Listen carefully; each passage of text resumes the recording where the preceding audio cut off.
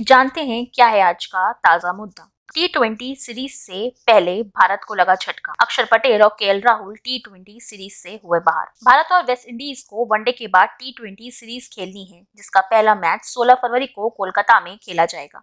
इसी के बीच खबर आई है कि टीम इंडिया के बैट्समैन के राहुल और अक्षर पटेल वेस्ट इंडीज के खिलाफ होने वाले टी ट्वेंटी सीरीज़ से बाहर हो गए हैं। बीसीसीआई द्वारा जारी बयान में कहा गया है कि उप कप्तान के राहुल को दूसरे वनडे में फील्डिंग के दौरान स्ट्रेन हैमस्ट्रिंग में दिक्कत हुई थी, जिसकी वजह से वह टी ट्वेंटी सीरीज़ से बाहर हो गए हैं। जबकि कोरोना से उभरने के बाद अक्षर पटेल ने ट्रेनिंग शुरू की है। ऐसे में उन्हें भी टी ट्वेंटी सीरीज़ से बाहर किया गया है। वे अब अपनी चोट को आगे के प्रबंधन के लिए बेंगलुरु के राष्ट्रीय क्रिकेट एकेडमी जाएँगे। अब इन दोनों खिलाड़ियों की जगह all India senior selection committee ने ऋतुराज गायकवाड़ और दीपक हुड्डा को दी है। बता दें कि भारत और वेस्ट इंडीज के बीच वनडे सीरीज़ के बाद तीन मैचों की टी ट्वेंटी सीरीज़ खेली जाएगी। इस सीरीज़ के सभी मुकाबले कोलकाता में आयोजित होंगे। टी का पहला मैच 16 फरवरी को खेला जाएगा, जबकि दूसरा और तीसरा मैच 18 और 20 फरवरी को खेला जाएगा। धन्यवाद।